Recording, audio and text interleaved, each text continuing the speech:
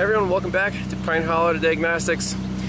We're back in the Volkswagen Mr. Euro Trash for uh, part two.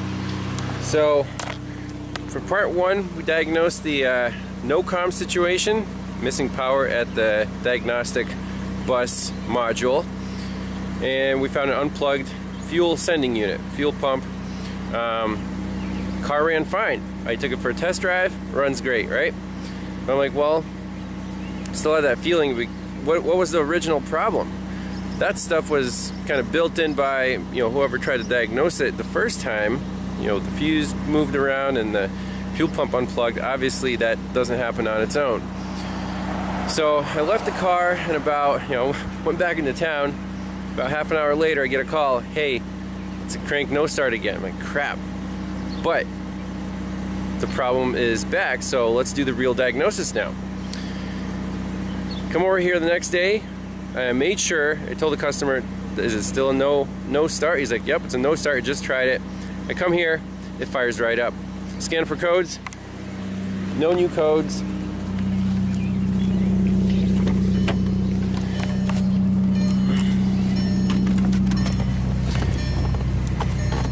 This thing is possessed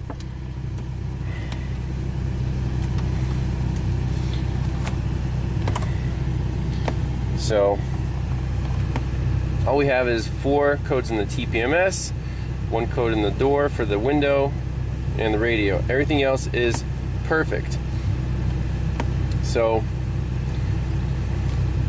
no DTCs in the engine electronics and if you remember the last time the fuel pump was unplugged it set a fuel pump circuit code so it's smart enough to do that um, we have to recreate this problem because I don't want to keep driving over here. It's a one hour round trip uh, and have no results. So let's take it for a spin, park it, let it sit, try to recreate the fault. Hopefully it acts up. While I'm driving this thing around, it runs perfect. Look at our fuel pressures, uh, desired and actual.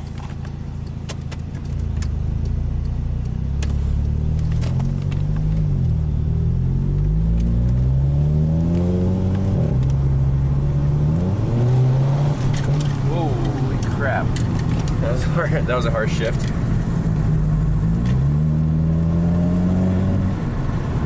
DSG transmission.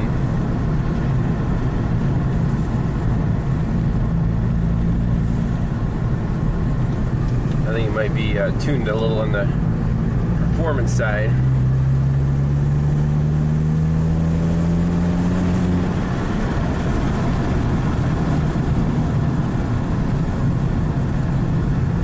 This thing's got some balls for a two liter.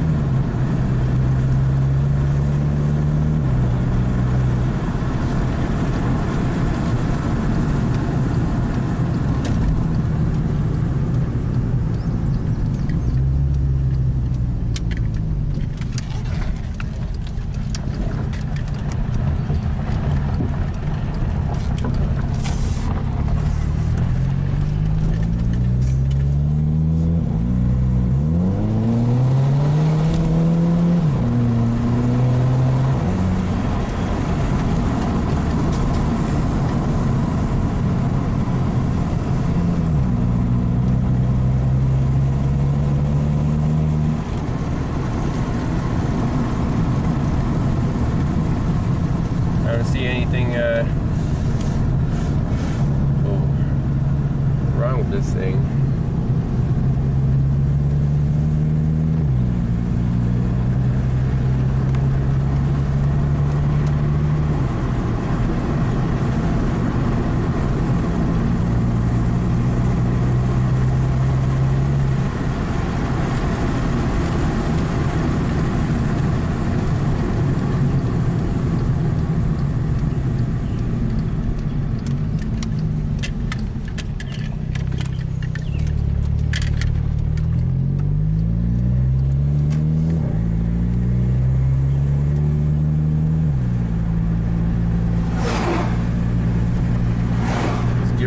Here in a straightaway.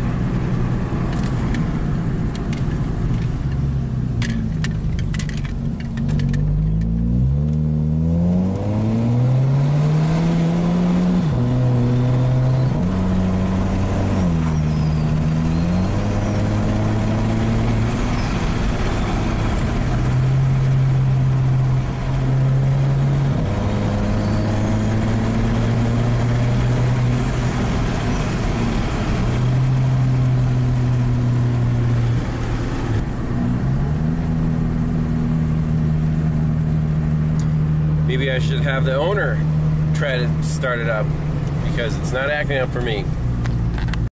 So just for kicks, we're doing a bidirectional test of the fuel pump. So fuel pump electronics, hit OK. And this thing will ramp up the duty cycle. You can hear it spin.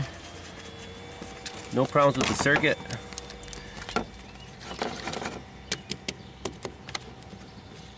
The module is not too hot.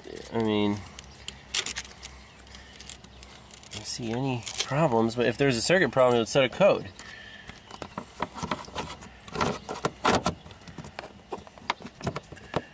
Craziest thing. Alright, so we have something interesting. Start it. Blah. Excellent. So I didn't come over here for nothing. Let's uh, get back into the engine. Look at our fuel pressure data PIDs. So there's no DTCs. Data stream. So some something heated up and now it's not happy. So let's select all. Okay. Okay, so definitely actual pressure is lacking right now, so let's start it.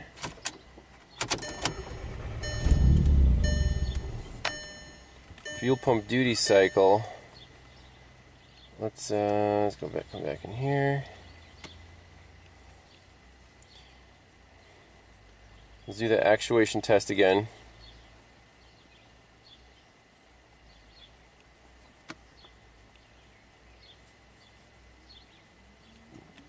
That pump is ramping up, you can hear it.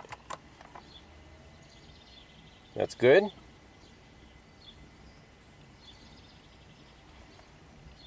Fifteen seconds and done. Alright, now let's go back to our data. And when it cranks, it actually loses the data stream, which is unfortunate.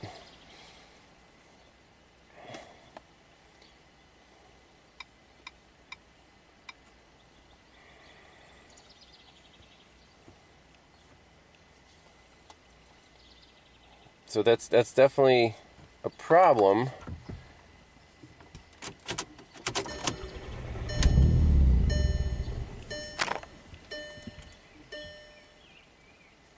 Keeps kicking me out.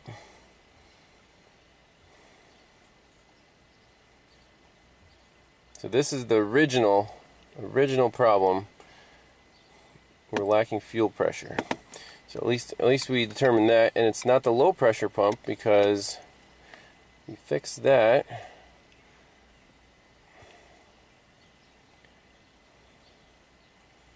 Mm-hmm.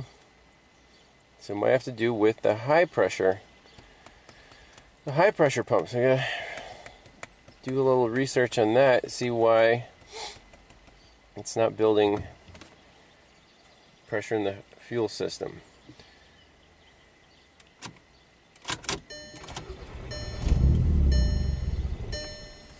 Okay. So on the high pressure fuel pump, there is a two wire fuel pump regulator valve.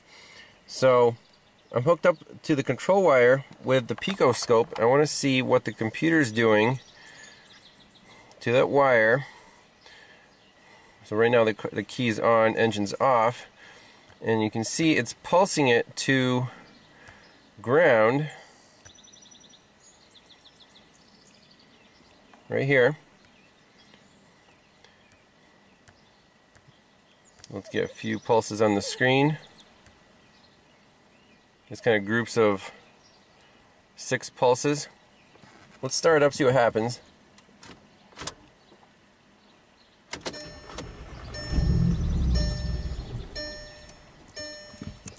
Okay, that was very cool. So let's zoom in here.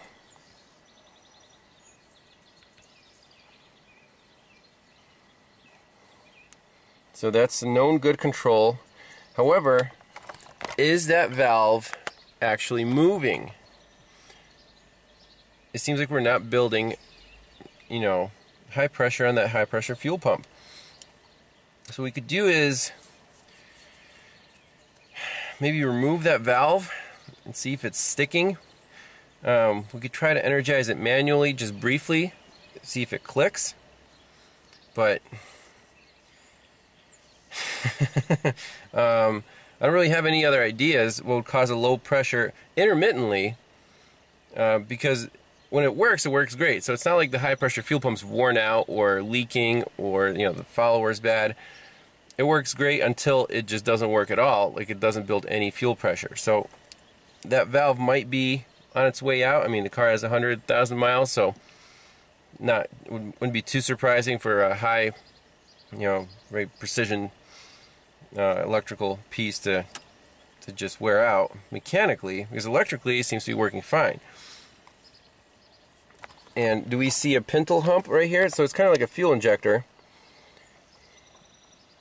It looks like it's there, so but let's uh, I just want to manually test it and see if we can hear the hear it click under the hood. All right, so I'm just gonna basically tie in to here and ground this briefly just to hear it click.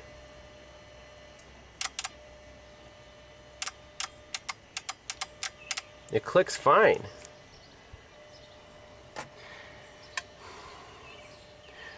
But it's not building fuel pressure. That's the craziest thing.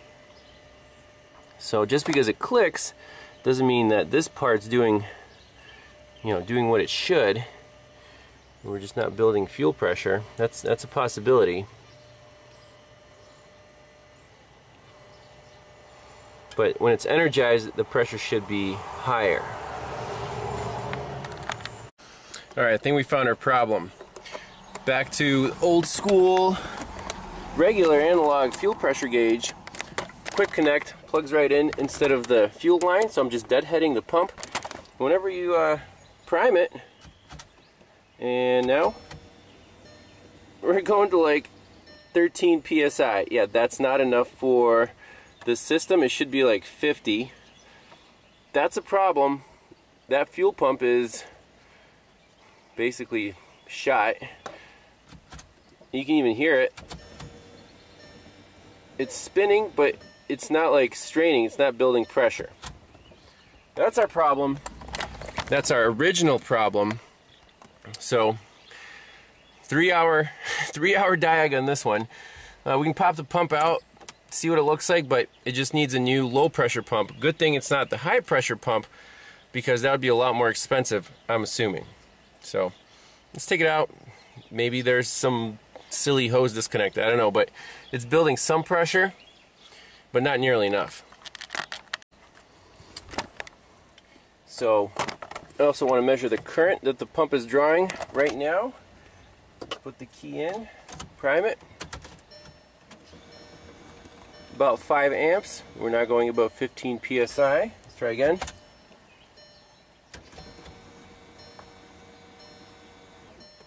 We can also try to squeeze the bleed valve and see if it's pumping air. Alright, so here we go with the test. Now for some reason it won't let me do the bidirectional, but we can do uh, just the key on.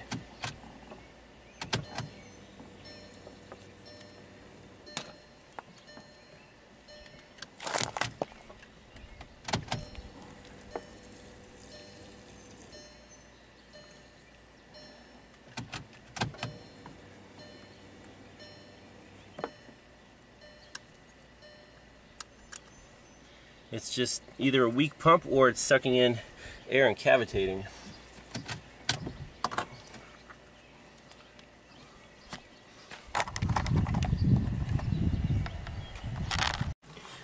Well, this is a mess. Taking the fuel pump off, uh, you know, off, it just like disintegrated. Oh man. So it has this um, extra pipe that goes to the other side of the tank. That's like the uh, little injector pump, to like a transfer pump. And then I think this is the main pressure line, and then it has two of these That's probably just to keep the sending unit down. It has this big spring on it. But, like, what is this supposed to be connected to?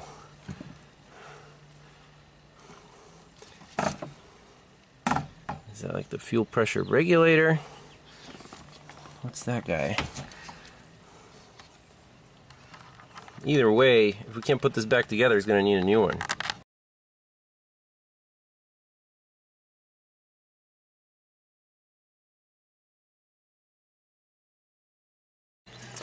Alright, so here's our fuel pressure gauge. Let's pop in the key, do the prime. Dude, we're back in business. It went up to 90. Wow. Let's try that again. It's holding. Now again, it's hard for me to guarantee that that's gonna last because if it like disconnected on its own once. Yeah. But there's a chance, so I'd say don't take it too far from home, just keep running it.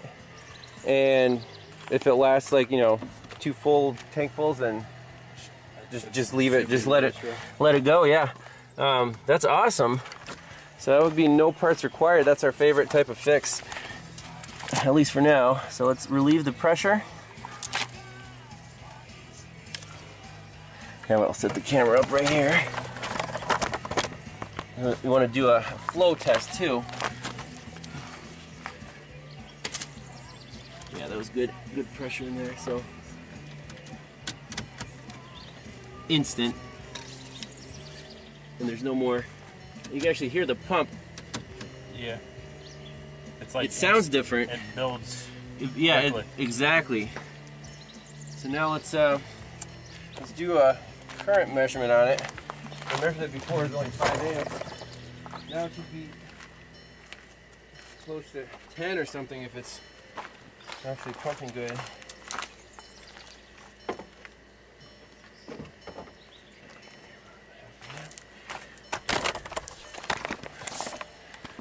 So let's uh, watch the gauge. and key on.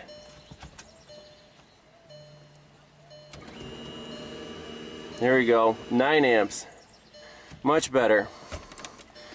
So I think this car's fixed. Alright, moment of truth here. Everything's plugged back in. Should fire right up once it builds fuel pressure. And stay running.